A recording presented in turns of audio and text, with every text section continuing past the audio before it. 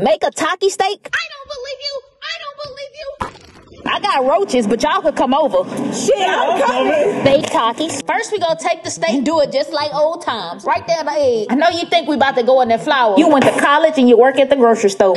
I'm offended. Cut the meat from the rooter to the tutor part. In my opinion, this right here is some raw grandma coochie. Take some shredded cheese and put it inside. Takis, egg, flour, takis. Add the butter, a little chicken breeze. Don't make it breathe easy. A little bit of deal. I'm a top chef for real. The steak is halfway done. I'm gonna update y'all when it's almost done. Double tap your screen for part two.